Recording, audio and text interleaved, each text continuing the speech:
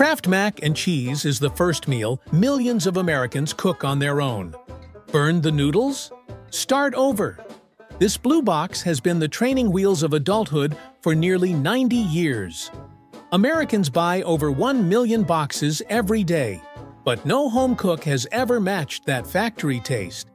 How does Kraft turn real cheese into powder that dissolves in seconds, stays stable for months, and somehow tastes more cheesy than the cheese it came from?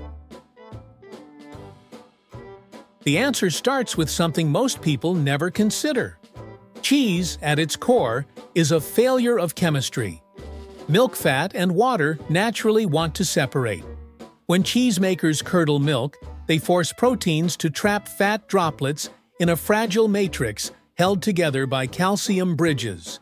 Heat that cheese too fast, and the bridges collapse. Fat pools on top. Water leaks out. You get the greasy, broken mess every home cook has experienced at least once. This is why homemade mac and cheese fails. The cheddar in your fridge was designed to age on a shelf, hold its shape, and slice cleanly, not melt into smooth sauce. The same calcium bridges that keep it firm make it clump when heated. Stir faster, add more milk, nothing helps. Factory Mac doesn't have this problem. The reason reveals one of food manufacturing's cleverest chemical tricks. In 1916, James Kraft patented processed cheese. The idea was simple, but revolutionary. Break the calcium bridges holding natural cheese together, then rebuild them in a controlled way. The key ingredient? Sodium phosphate. Add it to melted cheddar, and sodium ions swap places with calcium in the protein structure. Calcium gets pulled away from the casein proteins that form cheese's framework. Without calcium locking them in place, those proteins unfold and move freely. Here's the clever part. Those freed proteins become emulsifiers. They wrap around fat droplets and water molecules, keeping them mixed instead of separated. The cheese becomes a stable emulsion that won't break no matter how you heat it. This is why Velveeta melts like silk while sharp cheddar turns grainy. But Kraft had a bigger problem. Processed cheese still needed refrigeration. To make a product that could sit in a pantry for months, they had to remove the water entirely. The solution is a 50-foot tower called a spray dryer. Liquid cheese gets pumped to the top and forced through nozzles at high pressure, atomizing into fine mist. Hot air blasts upward at 400 degrees Fahrenheit. In under 30 seconds, droplets lose nearly all moisture. What falls to the bottom is cheese powder. But this powder isn't just dried cheese. During spray drying, volatile flavor compounds evaporate with the water. The cheese loses its sharpness, its tang, its complexity. This is why Kraft blends aged cheeses with enzyme-modified flavors to rebuild what the drying process strips away.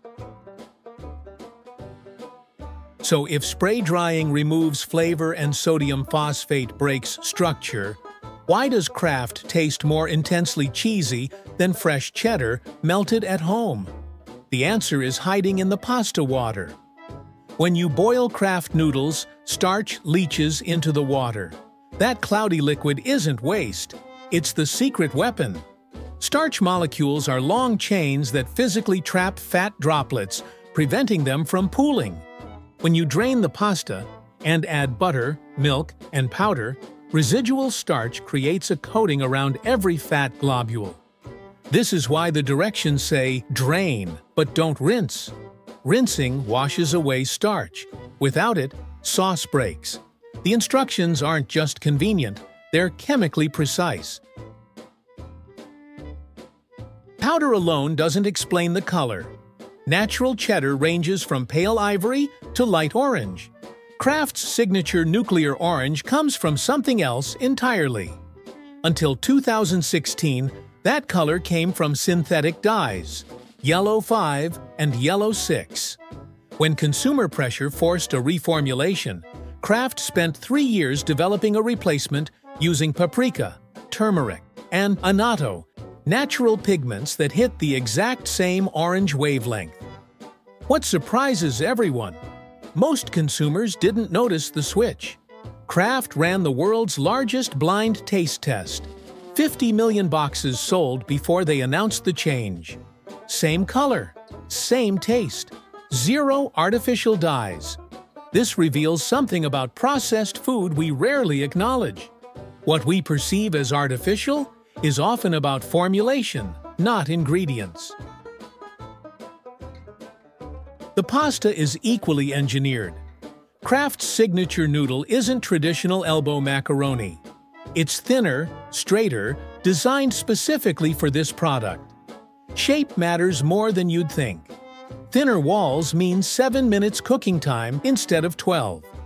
The slight curve creates surface area without deep pockets that trap powder unevenly. The hollow center allows sauce to coat both inside and outside, maximizing cheese contact per bite. Character shapes like SpongeBob cost more per ounce, but have devoted fans who swear they taste better. They're not wrong.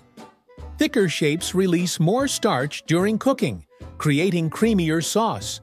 Ridges and grooves hold more powder. Same formulation, different geometry, different eating experience. Every box represents a supply chain spanning continents. Midwest wheat gets milled into semolina. Dairy milk becomes cheese, then powder, blended with whey and buttermilk solids. The result is shelf-stable for 10 months without refrigeration. This was revolutionary during the Great Depression. Kraft sold boxes for 19 cents with the promise, a meal for four in nine minutes. During World War II rationing, two boxes cost one ration stamp. 50 million boxes sold in 1943 alone. The blue box has survived every food trend that should have killed it. Organic movements, low-carb diets, clean label demands. None made a dent. Kraft sells 7 million boxes globally every single week. Next time you tear open that familiar blue box, you're witnessing nearly a century of food chemistry perfected into 7 minutes of boiling water. The sodium phosphate keeping your sauce smooth. The spray-dried powder engineered for maximum flavor impact. The pasta geometry calculated for optimal cheese distribution. This isn't just convenience food. It's applied science you can eat with a spoon. So which version's sitting in your pantry right now? Original or shapes?